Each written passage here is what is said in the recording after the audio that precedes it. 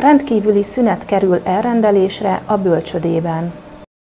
A Karcagi Többcélú Kistérségi Társulás Bölcsöde intézményében a megemelkedett fertőzéses esetszámok miatt a fenntartóval történt egyeztetés után a Bölcsöde intézményében a mai naptól rendkívüli szünet került elrendelésre.